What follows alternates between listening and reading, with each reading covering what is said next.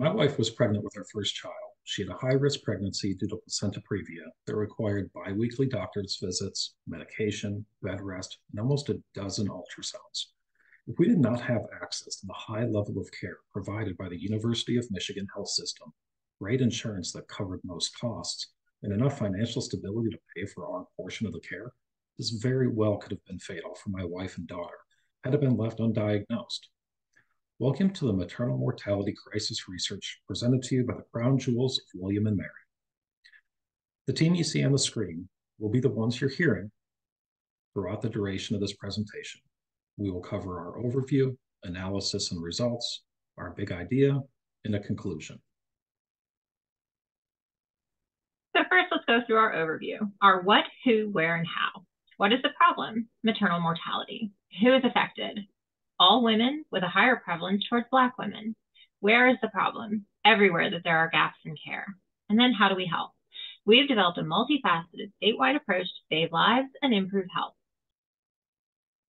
To approach the analysis and the results of our research, we identify who is affected and where is the problem, showcasing main data points that indicate Black women have higher maternal mortality looking strictly at race. So first, having a glimpse into the systemic problem nationwide, we can see that maternal mortality rate per 100,000 live births is two times higher in Black women compared to white women. Looking into different medical conditions that impact the pregnancy, we notice that pre-pregnancy obesity is the highest in Black women with a 39%. And lastly, we notice that the maternal mortality is higher in urban areas with an 82%. So we can conclude that racial disparities exist across the country, and while urban areas may provide easier access to healthcare, maternal mortality is significantly higher there. So let's dive into Virginia highlighting potential gaps in care. First, Black women presented a 56% higher rate of receiving inadequate prenatal care compared to white women. 16.6% experienced discrimination during pregnancy, and Black women reported unintended pregnancy an 87% higher rate. So we can see the trend of racial disparities in Virginia as well.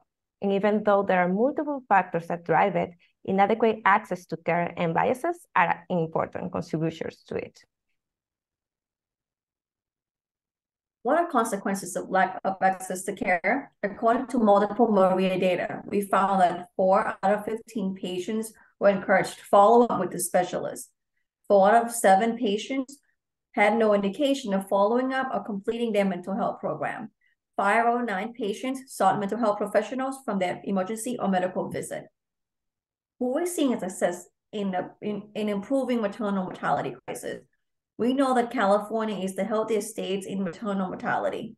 Virginia reported 2.6 times higher maternal mortality rate than California between 2016 to 2020.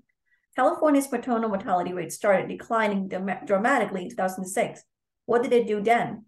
They established California Maternal Quality Care Collaborative and launched multiple toolkits that could be a game changer for us as well. So what do we do and how do we do it? This is a three-pronged approach with toolkits, a new telehealth app, and maternity health check stations. Maternal toolkits are a proven solution in use across California that aim to improve the healthcare response to the leading causes of preventable death among pregnant women. They are a provider facing instrument that includes best practice tools and articles, algorithms and care guidelines, implementation guides, and more. Telehealth apps would be a free app downloadable on any smart device that gives women access to dedicated obstetric, urgent, and emergent care screening and guidance. Maternity health check stations, through partnerships with retailers like Walmart and chain pharmacies, would allow for basic maternity checks, advice on issues, and a referral to advanced care when necessary. While these would be statewide initiatives with standardization across the board, they would be managed through regional medical centers that house a dedicated OBER that only pregnant and postpartum women can be treated at for any emergent issue. Besides the obvious benefits, the proven toolkits and telehealth apps are specifically designed and implemented to remove racial bias in care. So how do we do it? What is our call to action? We've developed a two-phase plan, first phase having the first five years. We would like to strategically implement toolkits based on the largest gaps in care. then launch a patient-facing app to allow greater access to support and coverage. And finally, mandate it, the program to statewide with a focus on mutually beneficial relationships for providers. The second phase, we would use centralized data from the app and toolkits to implement equitable standards of care. And finally, establish those public maternity health check stations for further engagement to close the gap. So, what is the takeaway?